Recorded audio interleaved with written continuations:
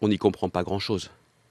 Monsieur Payon a quand même le chic pour mettre un désordre sans pareil dans l'éducation nationale.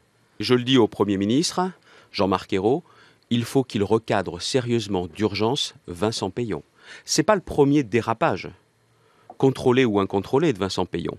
Il a la semaine de 4 jours et demi cette réforme qui est complètement aujourd'hui bloquée. Les élus n'en veulent pas. Les parents d'élèves n'en veulent pas. Les enseignants n'en veulent pas. Et là, ils cherchent par une pirouette, parce que ça n'est rien d'autre qu'une astuce, à sortir du débat en disant mais il y a la question des grandes vacances.